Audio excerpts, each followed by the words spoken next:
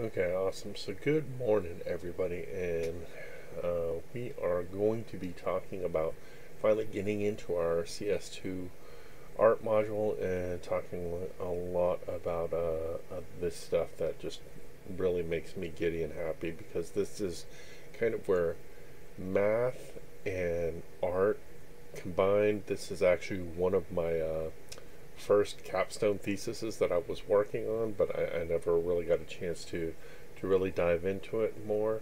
Uh, but it's nice to see that the CMU CS Academy has kind of broached this topic uh, by using their uh, graphics package that they built into this new uh, into this new uh, program uh, that we're using to kind of teach you game programming, which which I, I'm just really excited to to dive into this stuff because this is uh, where a lot of my passions meet together. Uh, but so some of these things that we're going to actually be covering in this this art module to, to kind of start off, uh, we're going to be revisiting color again, uh, but but as you can see here, there there's a few other things that'll be coming up too, which is kind of cool. Uh, so. Uh, right here they have this patterns thing, which which is actually really cool. Uh, but this is just showing you kind of how uh, they're taking uh, monochromatic colors. Well, this is more uh, probably more of an analogous, uh, but th this is just showing you uh, uh, like a like almost it gives you like a stained glass feel and, and vibe as it, it's kind of striating out and everything. but they also are going to be going into patterns as well and just making geometric patterns and stuff like that and and then uh, also emergent behavior where um, uh, a lot of you might play those IO games where it's uh, just taking generative code uh, and it, it's kind of giving it a simulation of an artificial intelligence to a, a certain degree. Uh, but kind of even talking more about some of that stuff uh, before I jump into color um, is is kind of a, an interesting topic, uh, so I wanted to show you a few things uh, because it's going to be kind of cool as we go into all this stuff. Uh, but I just wanted to show you a little bit more about uh, pattern making. a big thing uh, as, as it kind of combines with uh, um, geometric shapes and everything is if, if this is stuff that really interests you, um, one of my personal favorite artists, he was a he was uh, basically an individual that did a lot of uh, etch moldings, uh, kind of like the the foundation of of forced uh, forced perspectives and surrealism. Uh, but one of the big things that he also did, uh, Moritz, um, Moritz Cornelius Escher or MC Escher, did a thing called tessellations a lot of times. Uh, and it's basically taking kind of patterns and building them out uh, to where in just like multiple iterations to where it like creates a pattern uh, with images uh, and then he would take these images mold them into geometric shapes to, to kind of create a pattern. And he did this a lot a lot of different things that he did. Uh, it's based a lot of uh, off geometric shapes. So another thing that that might be talked about a lot in this pattern making and stuff like that is also the uh, sacred geometry. Sacred geometry is kind of some cool stuff. Uh, but a lot of times in art theory, uh, as well as just like anything that, that we actually build out, uh, you'll hear about the uh, uh, the golden ratio or the sacred ratio, and this is kind of a, a, a pattern that actually gets built out, and it, and it's a it, it's a varied ratio, but this happens a lot of times in in nature itself. Uh, so like uh, the conch that you see like sitting on a, on a seashore and everything, uh, it's actually built off uh, off the golden ratio of, of, common. Uh, so so you'll also hear uh, talk of of just kind of normal shapes and everything. There's the Vitruvian Man that that that Leonardo da Vinci talks about because it's actually based off like the human form of how how uh, patterns are actually forced and made. So just a little bit about that. Uh, if you want to look into more of that stuff because it's something that interests you, uh, definitely look up like uh, MC Escher, tessellations, uh, right here, uh, tessellations, MC Escher, and and sacred geometry. Sacred geometry is the other thing right there. But now let's jump back into color itself, because that's the the main part of what I'm going to be talking about here. So. So now, uh, one thing, uh, especially uh, here in the CMU CS Academy itself, is um, we need to basically start talking a little bit more about color because when you actually create uh, something in in uh, in coding uh, and you're trying to create maybe like an image or something like that, you also want to be able to build out a color palette that that is just not random colors thrown on the screen. Um, you want to be able to have some uh, some color that is uh, that that's interesting, but it also automatically is easier on the eye uh, because uh, as you as you use colors in something, uh, certain colors will clash uh, unless you actually build a viable color palette to them to to where it actually makes uh, it makes it a little bit easier to see. And, and as you can see that they talk about this like like if you just randomly grabbing colors, sometimes it really just clashes. And yeah, it's it's okay to eyeball it, but this stuff actually is based off math too, uh, to where you can actually create a lot of your colors off, off math. Uh, so one of the first things that we talk about is is having a monochromatic color palette. And, and monochromatic itself is basically just having one set color and then every color off that is built off an exact ratio of that color. And one way that we can actually easily see this is is so right here if you're looking at this code right here this is this is where I'm pointing to right here uh, so uh, besides using the preset string values that we actually have in CMU CS Academy you can always use your three color channels. Your, your red, your green, your blue, and you can actually uh, map out a color like that. So once you pick a, a given color, your, your RGB, uh, and then you actually put uh, that down, anything that is a direct ratio to that RGB is actually uh, monochromatic along it. Uh, so quickly, I'm going to jump to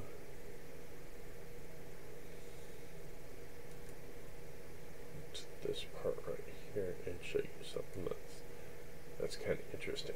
Uh, so, so one thing that they already have built out here is uh, they have a red slider, which automatically is is messing with the red channel. Uh, they have the green slider, which is messing with the green channel, and they have this blue slider that's messing with the the blue channel. And uh, I think I've talked about this before, but each of these can be set from 0 to 255, which means 256 possibilities. So if we're talking about 256 possibilities on each of these three channels, uh, it it basically gives us a full range of I think it's like a, a little bit over 61,000 colors here. Actually, let's do a quick calculation. I'll pull up the calculator here. Uh, so real time we can actually talk about this. Uh, so pull up my little calculator and we're going to say 256 times 256 times 256. Uh, take that back. So it's 16 million point seven eight uh, effectively. Uh, uh, 16.78 million colors, uh, effectively. And that's the exact number right there. 16.777 point, or 16, 16,777,216 possible color variations. Okay, so with that, uh, that means just basically everywhere that we, we put these sliders, there's a total possible over 16 million colors that we can actually create just here alone, uh, just using these sliders and, and going through this.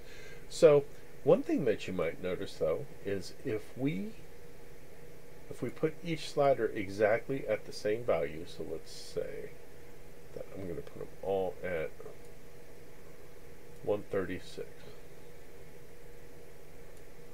So if they're all at 136, you notice that the color's gray, okay?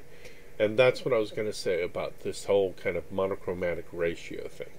So if you match all three channels all the way through, uh, from all, all the way at zero, all the way to the 255, if you just keep on matching them all the way through, that actually gives you your line of grayscales all the way through.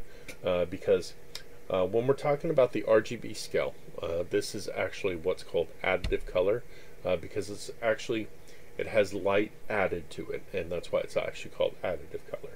So if we were to put all these channels all the way at 255, when you put as much red, as much green, and as much blue as possible, mixed together, it actually makes white.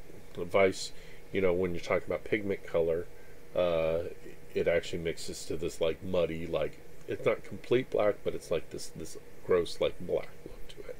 Uh, but this, uh, when you're using additive color, when you mix all light uh, red, your your red channel, your green channel, and your blue channel together, it actually gives you uh, the the color white. Uh, and then if you take it all away and you subtract everything out, that's what gives you black. So if we were to keep these matched all the way through, that would give us our full gray scale. Uh, so, so basically, of those, uh, anytime you have them completely matched, all three channels completely matched in number, uh, it gives you your grayscale. And that, in a sense, is monochromatic because it actually goes through and they're all direct ratios of each other. So, uh, let's kind of, uh, we'll end up building on that in the project that I have set up for you guys uh, to where remember that anytime you want to build monochromatic, you're actually just doing a direct ratio of your red channel, your green channel, and your blue channel of the color that you've actually picked out. Uh, so you can actually build a palette off of that. Okay? So,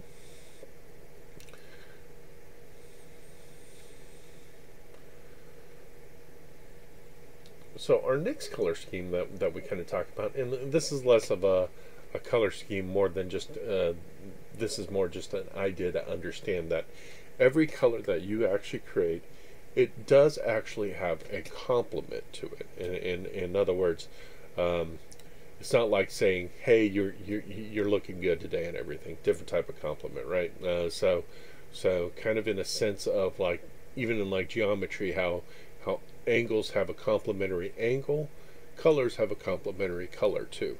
Uh, so so they basically match on the opposite sides of the color wheel itself. Uh, and and the color wheel has also evolved to a certain degree because you might uh, initially when you thought about the color wheel, a lot of times we also talked about pigment color where your primary colors were red, yellow, and blue, which it's a little bit different in actual digital color because we are still talking about those additive colors of the red, the green, and the blue channel, which is when, which is a little bit different, and it does look different. Uh, so one online resource that you have, uh, this is a free resource. Uh, you don't necessarily have to go into Adobe, but you, you can actually uh, you can actually pull these up yourself. Uh, Canva actually has a color wheel that's actually built online there and it does have the different ways to actually look at all these different colors. So let's say we pick a random color. Uh, I pick this this blue out here, and it's auto. If if I do this little drop down and everything, it will automatically give me its its complementary color. And you notice that that this purplish color, uh, it gives me a green to it.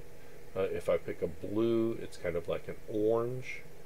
Uh, if I pick a if I pick like this deeper green, it's it's this uh, it's kind of pinkish and so on and so forth. But it will automatically give me the, the complementary color as, as, as we do that. But it doesn't necessarily create a, a color palette because this is just two colors. Uh, so so usually when you're trying to generate a color palette, you want at least three colors uh, so you can actually kind of build off that. Uh, so in the project, you'll see that there's in the bonus, I'm not having you do a complementary color. I'm having you do what's called a split complement. It's a it's a lesser known color palette, uh, only generated usually by mostly by artists, but it's it's actually a cool kind of color palette that you can actually create. Uh, so let's go back here to our discussion. Uh, but if you look here, uh, the way that you can actually uh, calculate your your complementary color in uh, the CMU-CS Academy is if you get your RGB uh, that you've actually just uh, picked out yourself, and then you take 255 and you subtract each of your values that you've picked for your RGB, you can actually automatically calculate the uh, the complement of it. Uh, so so effectively, it's like jumping at the the other end to actually get that. So now uh, another color palette that we can actually build in in our in our CMU CS Academy is called a triadic. And a triadic, yes, very very similar base stuff like the the Latin core of it, tri being uh, like a three, uh, just like a triangle, that's exactly what it is. You're you're you're building an equilateral triangle on the color wheel itself, and it's giving you that that triadic. So the easiest way to do that is you pick your RGB, uh, and then don't switch up the order, but just shift it. Uh, so so these values that you pick for RGB, you take that you take the green, you move it over, you take the the, the value that you put in the blue, you move it to the green position, and then you take the value the, that you put in red and put it in the blue position. And then you do that one more time, you shift again, don't switch the order, just just uh, switch uh, switch which one comes first. Uh, and then it basically rotates around. Uh, so that will actually complete your full triadic. Uh, and then just like that, uh, like even in your your Canva, you can actually do triadics as well. So you can come out in here and do a triadic. So if I'm picking this one, it automatically is giving me the triadic in here. So a few other things before we actually like jump to the project. So anytime we're picking this color, you see this value here that's popping up. And uh, this is something that I've actually talked about quite a bit. You'll see that it has uh, basically six characters uh, after this number sign right here that's actually being and what this actually is is it's uh, it's basically hex pair code that's actually coming out of it so so for your red channel uh, that's a DF for your green channel that's a 20 and then for your blue channel that's a 5-8 uh, but it's basically creating hex pairs uh, for each of the channels because that's actually how you can convert the the the value that you actually see the 0 the, to the 250 uh, into a hex pair that that is actually showing as basically two two base 16 digits. Uh, so so it's basically just a, a straight mathematical conversion uh, so the computers can actually communicate to each other and tell what color is actually being generated. I can go further in depth. In fact, I did with a few of the students uh, when we were talking about, I was talking about how 24-bit uh, color is actually generated off off bits, off the, the ones and zeros, and how that code is actually generated so the computers can actually communicate that. Uh, so uh, I can go a little bit deeper into it uh, in in a different discussion, uh, but it, but it's a little bit off topic. Uh, but it's it's kind of interesting if if you if you're really into this stuff. So uh, that next one is is uh, building a triadic. As you can see, it automatically, no matter what, it's creating that equilateral triangle wherever we're moving this, and it's actually creating the the triadic colors. And then we're going to be doing the same thing in our CMU CS Academy, but less of kind of like a, balance, just kind of uh, jumping through it. And if you scroll down on this Canva one, you'll see that there's a few other ones that, that they actually talk about, like the analogous, uh, which is not just using your color that's monochrome, that, that, that would just be creating a monochromatic, whereas you're just in a single color and you're creating uh, uh, different, uh, different saturations of it. Uh, but in analogous, you're actually picking the colors off to the sides as well. And this is kind of similar to the concept of like a split complement because um, for a split complement, instead of having this this uh, middle blue, you would be using this opposite orange right here. So the orange uh, and the split complement will be this darker blue, and then this cyan right here. Uh, that would kind of be your split complement that you would actually be using. Almost like a triadic, but not not quite like a triadic. So there's a lot of the decent information on this too. Uh, it goes a little bit more into uh, uh, it, it, here it says hue, saturation, and luminescence. Uh, but if you've seen, uh, if you've ever messed with Photoshop, you'll know that luminescence isn't uh, called luminescence in Photoshop. It's called brightness. So you'll see an HSB scale, which, which is your, which is set up a little bit differently. So.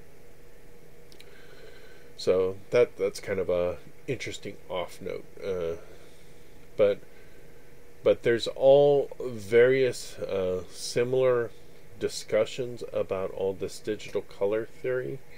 Uh, and and I can get a little bit more into it, uh, but it's uh, definitely uh, definitely a lot of information online to where uh, you can really deep dive into it if you want to. In fact, uh, I do have uh, this set up so I can actually show you this real quick. So, um, instead of having a color wheel anymore, well, they, they still do have a color wheel in Photoshop, but the, the color wheel in Photoshop no longer has your red, green, blue on it. It has the hue, saturation, brightness uh, set up on it. So it's harder to kind of translate this information using the color wheel in Photoshop, and that's why I don't really have it pulled up. Uh, but it is something that you can actually mess with uh, to where if you do pick, like let's say we pick uh, our color here, you can actually take that color and then go to your your red, green, blue sliders, and then it's actually going to give you those red, green, blue channel colors uh, of what you want there. Uh, but uh, one thing that they've noticed that as they've evolved digital color theory, it's less of a color wheel. It's, it's more of like this this color block or color cube is what they kind of call it. Uh, and and what you'll notice is like they talk about this hue cube that they got. So it's basically having colors and then slices uh, as as it goes through. So so it's it's uh, so as you move this down, see how it has different colors, so it's effectively like a color cube as, as you're going through it. It's a three-dimensional shape and less of a two-dimensional wheel. So, now that I've kind of droned on about color a bit, what I wanted to have set up for you is is I wanted to do this project. Uh, so it says like, time for the project, yay.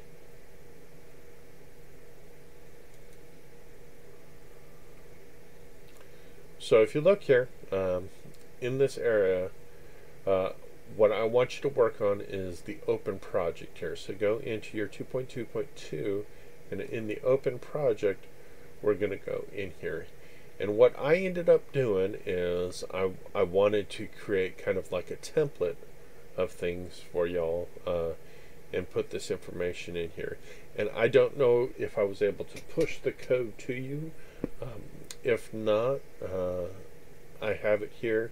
And I also have it saved on a document that I'm going to uh, uh send to Miss Stevens, and and hopefully uh, she can she can either uh, post it for you, put it in Schoology. I don't know how would be the best way to actually get this to you, uh, but because if it didn't push through CMU CS Academy, I mean, I can have it up here so you can actually look at the code.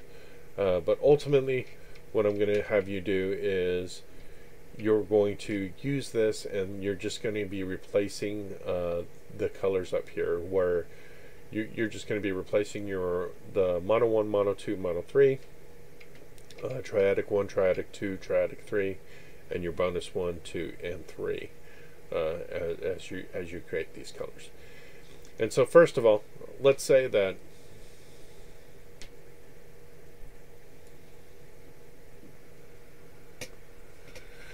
I wanted to do like a a different mono. Let's uh let's do like a an extreme red. So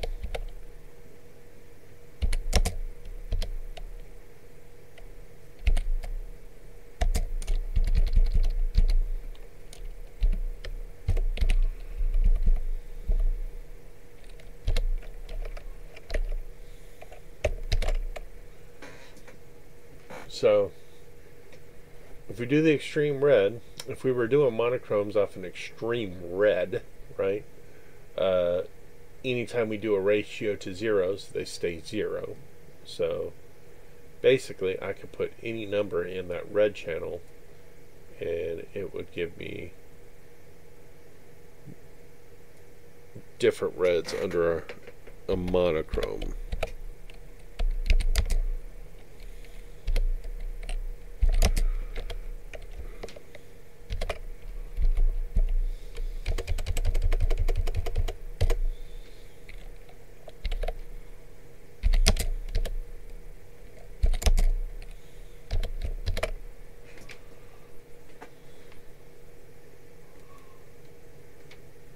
So looking at that, uh, we have this lighter red, or the brightest red, then we have a darker red, and then we have a really muted dark red.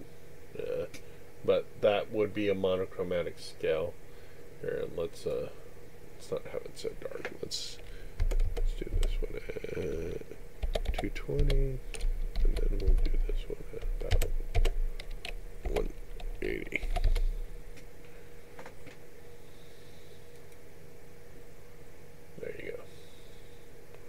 That gives a little bit of variety.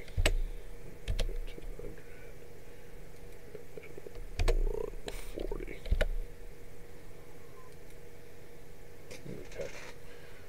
Now we have some, uh, we have our, our reds being our little monochromatic that we have here. Now this next one, uh, when we do our triadic, remember, whatever values you pick here initially,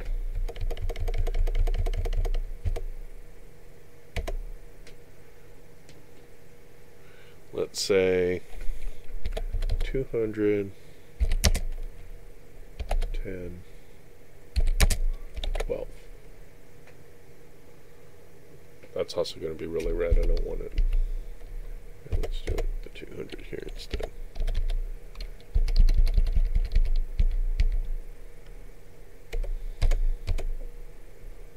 We'll do 25 here. So 25, 10, and 200. So since we have these three, the next one we want to do is we want to put the 10 in the first channel.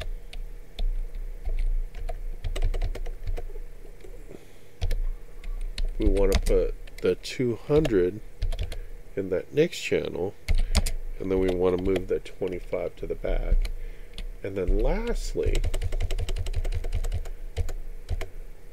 we want to move the 200 all the way up.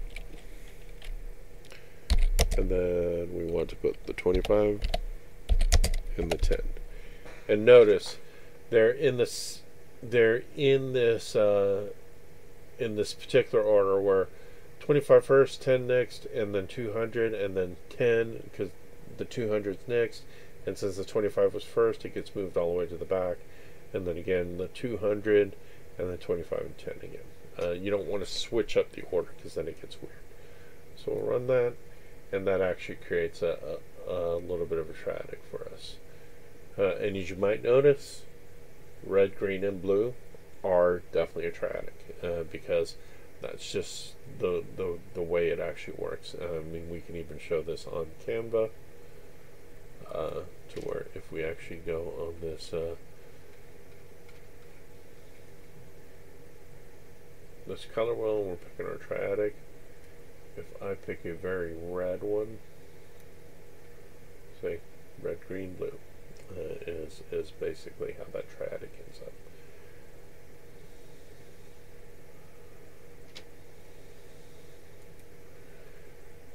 So this this last bonus one, this this one is is the the one that's a little bit different and uh,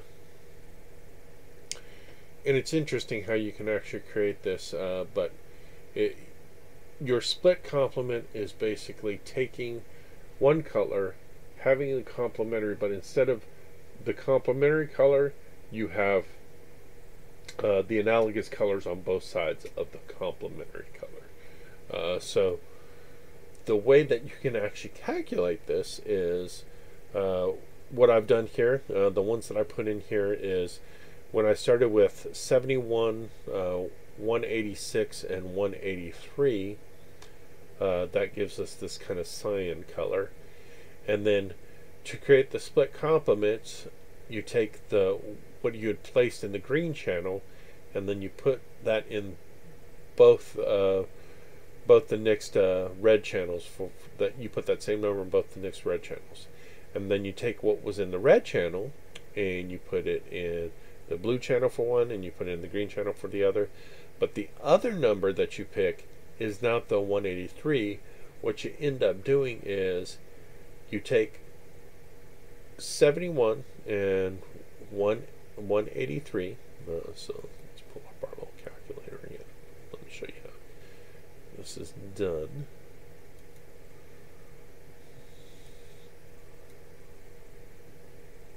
So we take the 183 and then I subtract 71 from that. It gives me the value of 112, but then I divide that by 2. So then I have 56.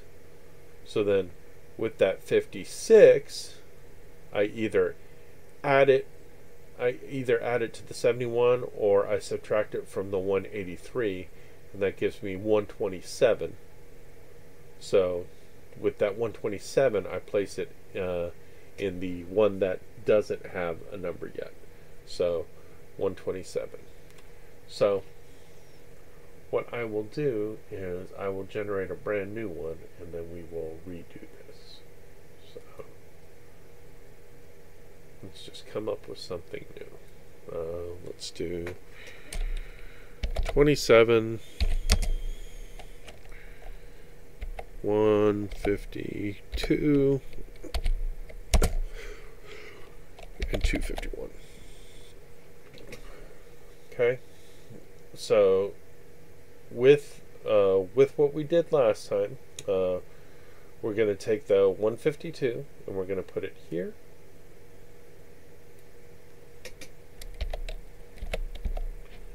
And we're going to put that here.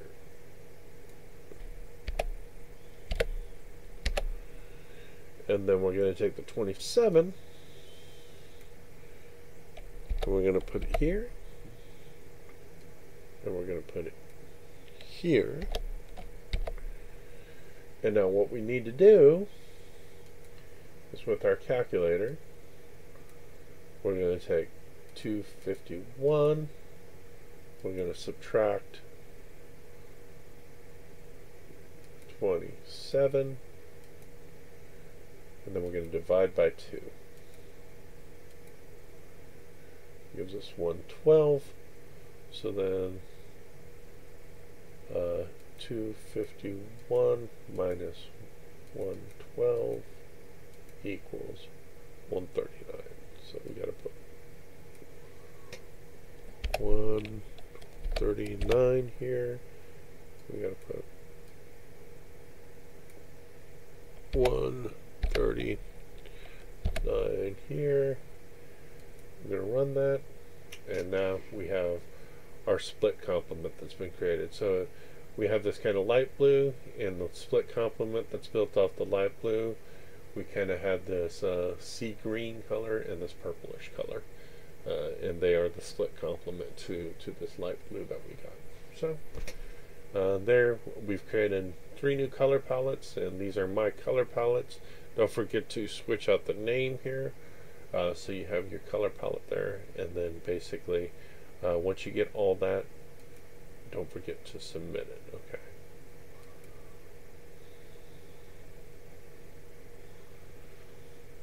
Uh, but that's basically what I want you to do today. Uh, so uh, as as you will notice you'll see me uh, kind of uh, kind of floating uh, because I am also in a classroom today as well. Uh, but uh, but definitely, if you have a question, uh, put it in the chat. I will try to touch base with you guys uh, to to help you get this done, uh, and hopefully, uh, Miss Stevens will be able to help you out as well. but right here, this is. Uh, this is what I want you to do. Just basically fill out this template so you can actually create uh, three color palettes. You'll have a mon monochromatic, a, uh, a triadic, and a split complement that you've actually created out of this.